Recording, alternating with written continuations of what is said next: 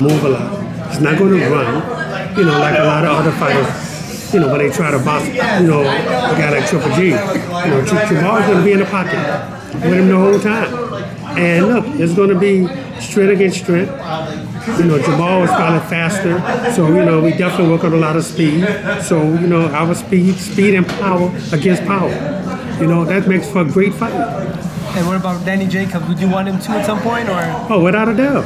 Without might, a doubt. You, might, you guys might run into each other the next couple Yeah, days. that's okay. I mean, look, I like Danny. Danny's a good fighter, you know. And look, Danny has been at the top, top level of boxing for, for years.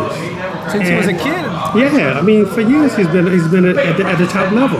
So you can't take nothing away from Danny. And I never try to take nothing away from any fighter because I was the fighter. So I understand what it's like.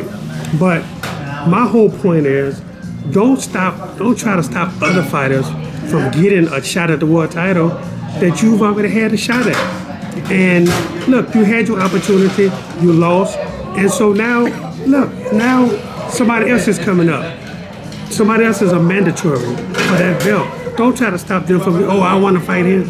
Why you want to fight him? But we want to fight the champion. Nobody's scared of, of, of Danny Jacobs. No, who, who's scared of Danny Jacobs? Nobody. Jermall Charlo definitely not scared of him. Jermall Charlo want to fight him. But we want to fight Triple G first because he has the belts. If Danny had a belt, our eye would be right on him. There's one guy in England, Billy Joe Saunders, that has the last belt. Triple G has three of them, if I'm not mistaken. Yes. Well, he's going to have two soon because I think the IBF is going to probably triple. Gotta ask you this. I was at Barclays Center today. Going to the Pentagon or the White House is the same type of security. Uh, Did you notice today they had stickers? Conor McGregor ruined it for everybody.